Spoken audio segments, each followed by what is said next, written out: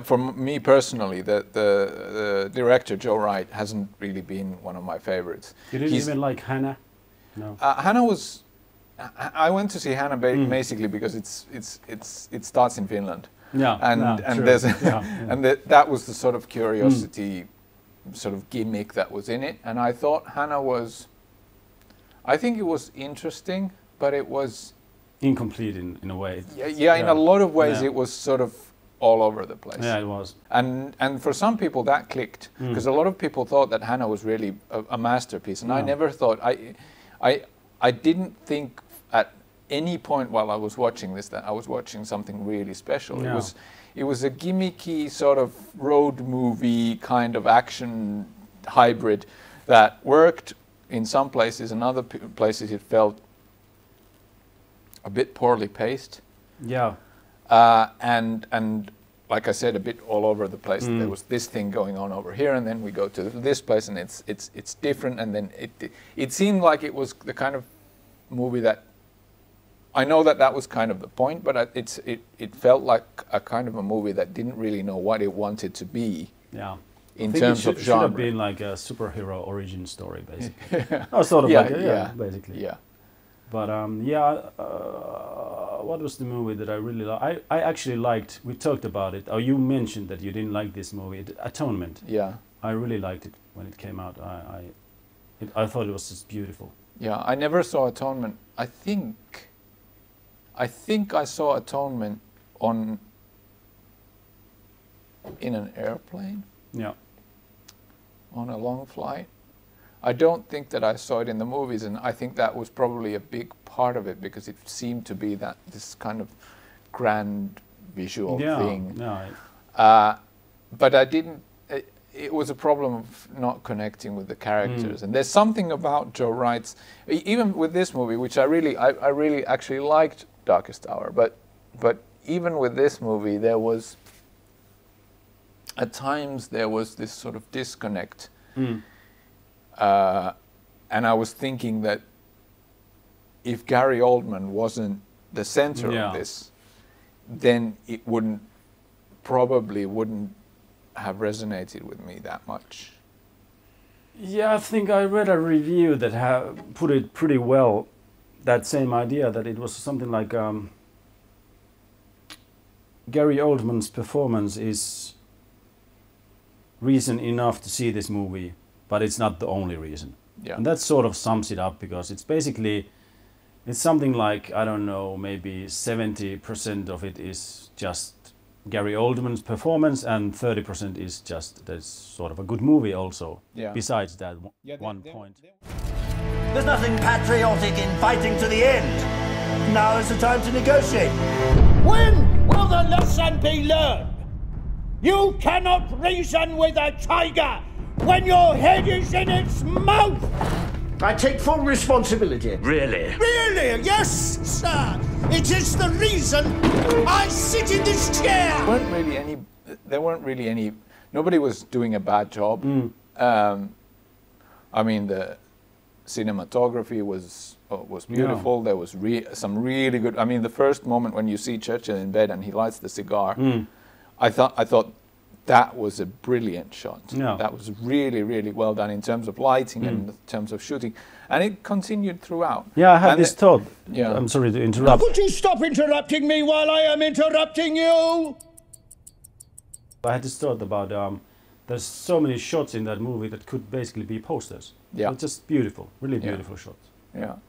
Um, the music was, well, sort of what you expect Mm. from a movie like that. Um, all the performances I, th- I thought were good. Yeah, I thought Ben Mendelsohn was really good yeah, I was. as, as the king.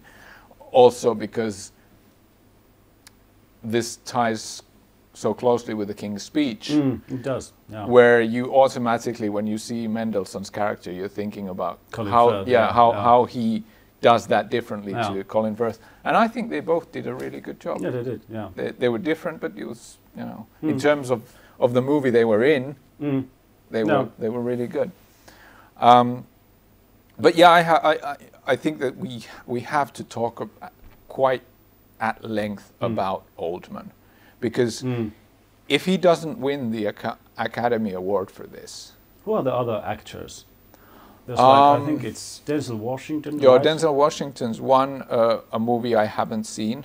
It hasn't been in Finland. it No, no, and, yet, and, yeah. and I don't know if it will. Uh, the last Yeah, time, you- last yeah. time he was, uh, yeah, Fences. yeah, Fences didn't come I at haven't all. seen to- it. I haven't seen it either. Yeah. Uh, but it's, I think the thing with both of those movies, as I understand it, that Mm. they are so heavily marketed towards the African American Yeah, yeah. uh, target audience that, that that probably Finnish investors might think that it's just not worth it Yeah. uh, bringing them over here. But but just in terms of just having seen Oldman alone, Yeah. uh, because for me, a lot of people sometimes say that when an when an actor goes through a sort of a transformation, they put on weight or they lose weight or they have heavy prosthetics or whatever. They say that that he was almost or she was almost unrecognizable in that role, and I always sort of, for me, it's it's probably because I uh, I watch movies that much. I always sort of pick up on those things. But for the first time in a long time, if ever, in this movie, at times I had to really sort of remind myself that this is Gary Oldman I'm Yeah. watching, because he's so different Yeah. from how he looks. The hair, the prosthetics, the voice, the posture, Mm. everything Yeah. was sort of taken away, stripped away, and then and and then there's just these few moments that you you see that old man sort of punkish, yeah, yeah. punkish sort of slim, uh, you know, w- what you're used to seeing him in, like films like like Leon or or Yeah, or yeah. uh, or uh, the Harry Potter movies or or- Fifth yeah, Element, no. and at times you can see that sort Mm. of peeking through, but it's so rare Mm. that for me a lot of the time and and the and the thing is that that I I I, I read Empire's sort of puff piece Mm. on the movie before and they'd done five months of different prosthetics Yeah.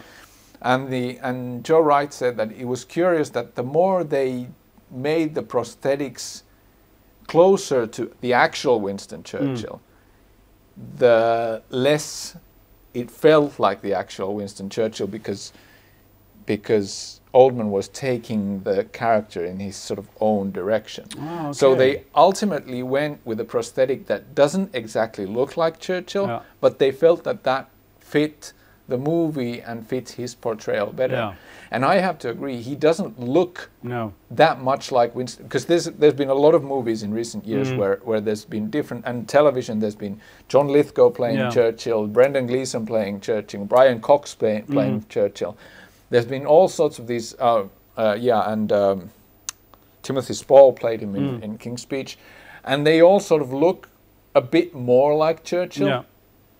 But the way he captured that Yeah. with the voice and Yeah. he, uh, he also i think he they said that he, he practiced that voice for like half a year so that it, it, it wasn't too shouty Mm. because he was a sort of this boisterous orator and Mm. so on it wasn't too shouty but it was it was and it wasn't ridiculous because it's it's so easy to make a sort of caricature out of Mm. winston churchill Yeah, well. just imagine the, when you're an actor and you get a role. Hey, you want to play uh, Winston Churchill on a movie about the Dunkirk event? It's like okay, That'll no pressure. yeah,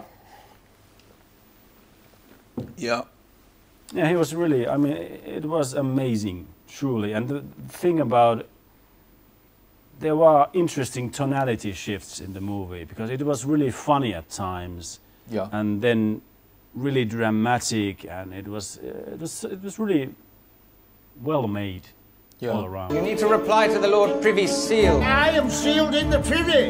I can only deal with one shit at a time. Uh, but, but, but the way you're doing your V for Victory sign? Well, in the poorer quarters, that gesture means something else. What does it mean? Well, I wouldn't like to say, sir. I was captured by the Boer. I spent time in a South African prison. Up your bum. Sir. Up your bum. Up your... Yeah, that was that was also one of the things that Wright said that he wanted to do. That he wanted to sort of